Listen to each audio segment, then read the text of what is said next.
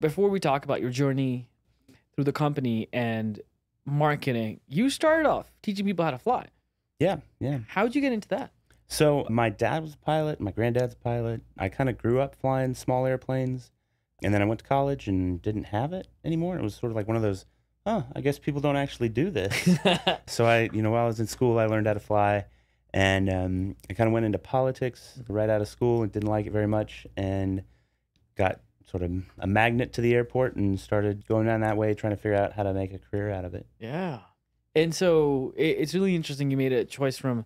Did you always want to go into politics? That's something like I did. I mean, I, I probably went through the I want to be an astronaut phase like every kid does. Yeah. Mm-hmm. But then the idea of, you know, doing things that matter and being able to have an impact, that, that was probably the main motivation. And turns out politics is not really the place to do that, at least have a good impact. I hear that. It, it kind of uh, some of my family's in politics, and I thought about it and realized that I'm, I'm not saying uh, politics aside, but going through that process of rising to power, and then I realized that I might not, I will probably not be the person that I was at the start, and maybe I would not be doing what I wanted.